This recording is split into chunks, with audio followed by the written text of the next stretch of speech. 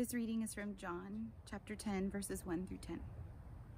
Very truly I tell you, anyone who does not enter the sheepfold by the gate, but climbs in by another way, is a thief and a bandit. The one who enters by the gate is the shepherd of the sheep.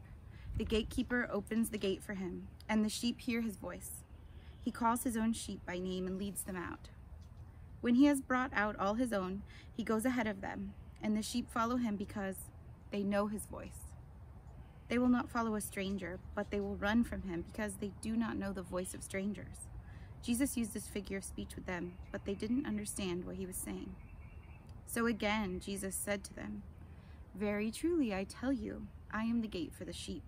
All who came before me are thieves and bandits, but the sheep did not listen to them.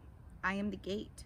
Whoever enters by me will be saved and will come in and go out and find pasture. The thief comes only to steal and kill and destroy.